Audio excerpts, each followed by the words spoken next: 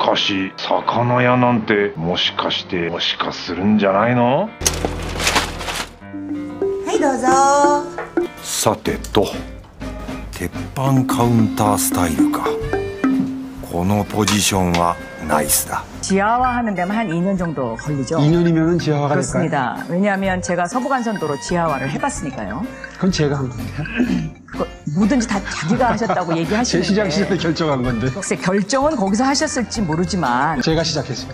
이거 정청래 의원이 굉장히 화내더라고요. 제가 결정했습니다. 2004년도에 오 그렇지 않습니다.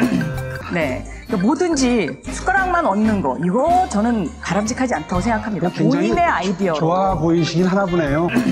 임대인들의 서름 그것이 굉장히 중요하다고 생각합니다. 오세훈 후보는 가진 자들의 그렇죠. 임대... 계속 계속 옮겨 다녀야 되니까요. 임차인이요? 네, 임차인들의 서름. 집 없는 서름을. 야당을 무시하는 거죠. 야당을 무시하면 독재입니까? 그리고 국민의 의사를 무시하는 거죠.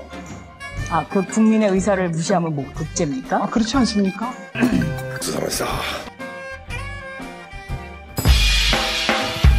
사실다 게임 와이키시마스. 네. 아, 네. 나 따라오라 그러면 통합이 되겠습니까? 문재인 정부 때는 그렇게 했나요? 아니 그렇게 못해서 우리가 이미 이번에 정권을 뺏겼으면 새로 된 사람은 좀 바뀌어야 될 거 아니겠어요? 더구나 좀 의아스러운 게 그 민주당의 일개 초선 의원이 아니셨지 않습니까? 네. 지도부셨고 네. 끝내 대표도 하셨고 그런데 꼭 남의 나라 이야기 하듯이 문재인 정부 때 있었던 일은 나하고는 상관이 없는데 나는 다 생각이 달랐다.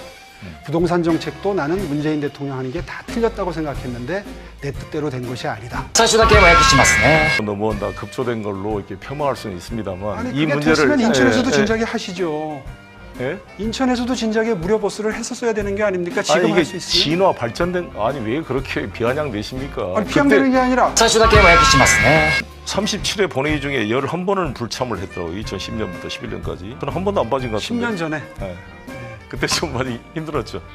그때 뭐 얼마 이제... 전에 보니까 뭐 이재명 지사는 경기도에서 하다가 중간에 나가더만요. 예, 뭐 이재명과의 지금 경쟁이 아니고 그분이 소... 대통령감이라고 소... 지지하신 거 아닙니까? 소... 아니 왜 그렇게? 사실은 게임을 했지만 아, 의지는 매우 높이 평가할 만하다고 생각합니다. 부동산 개발 이익을 시민님께 돌려드리는 그렇습니다. 게 맞지요. 네.